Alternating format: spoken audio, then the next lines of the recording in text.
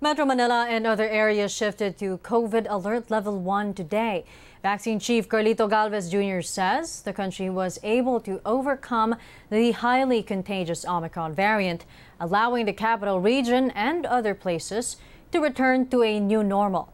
But he still urges Filipinos to remain vigilant. Finally, nakaraos na rin po tayo sa ating mahigpit na pagsubok sa nadala ng Omicron. NCR together with 38 areas will begin the roadmap to the new normal exactly one year after we started the vaccination program. However, kailangan pa rin po natin na maging vigilant at gabayan natin ang buong sambayanan, ang ating LGUs at lahat ng institusyon to self-regulate and manage and live with the virus. Under Alert Level 1, establishments can operate at full capacity. The health department even says moviegoers can now eat inside cinemas again. Eating and drinking were initially banned inside enclosed theaters as they pose high risk of virus transmission.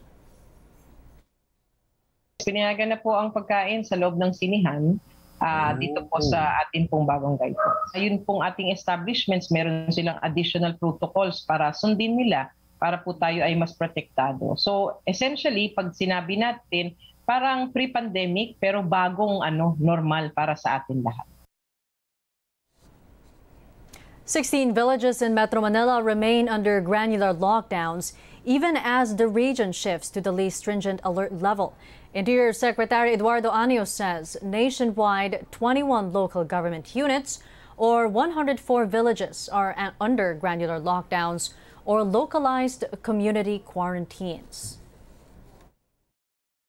Sa ating pong patuloy nagbababa ng kaso, ay patuloy naman po ang pag-implement natin ng granular lockdown. Kahit po sa alert level 1, ang mga LGUs ay magsasagawa pa rin ng granular lockdown para sigurado na mati-check pa rin po natin kung sakaling magkaroon ng transmission sa isang lugar. So bahay, karsada, block o barangay ay pwede pong ilagay sa granular lockdown. The Philippine Health Department says it will no longer release daily COVID case bulletins. Starting next Monday, March 7th, the bulletin will only be published once a week. It will also be revised by focusing on severe and critical cases, as well as the ICU utilization rate in the country. But the agency clarifies the case tracker on its website will still be updated every day.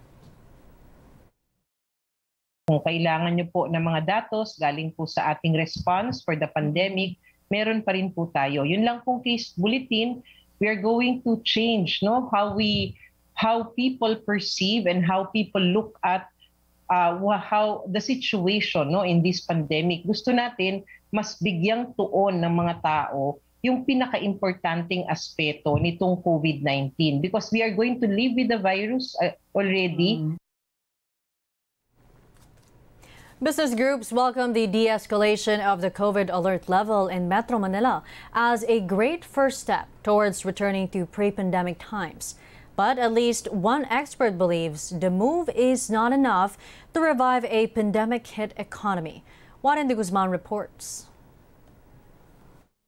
The Management Association of the Philippines says Alert Level 1 is a great step toward returning to pre-pandemic production and operations.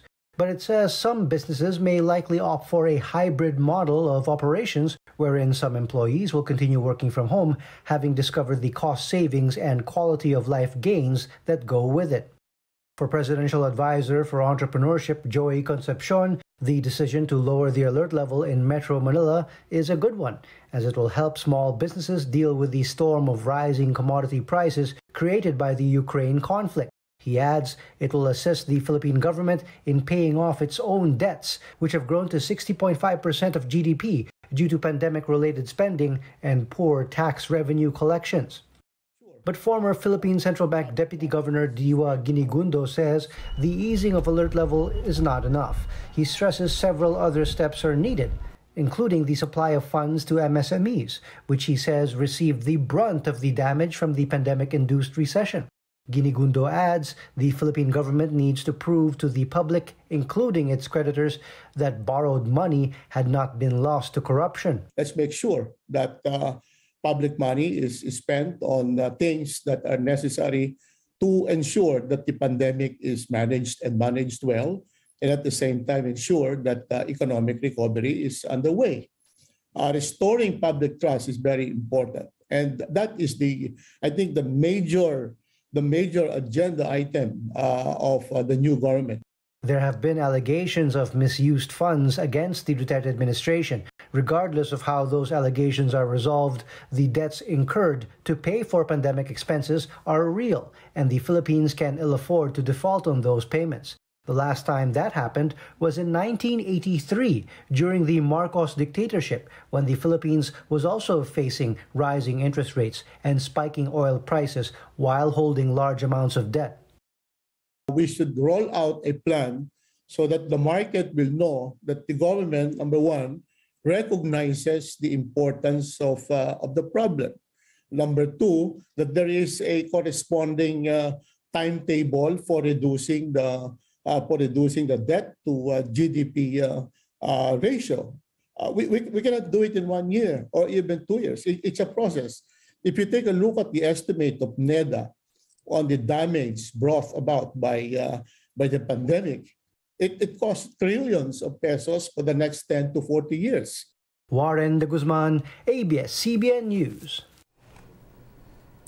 The National Economic and Development Authority, or NEDA, is optimistic the economy can finally start recovering its losses due to the pandemic as Metro Manila and dozens of other areas shift to alert level 1.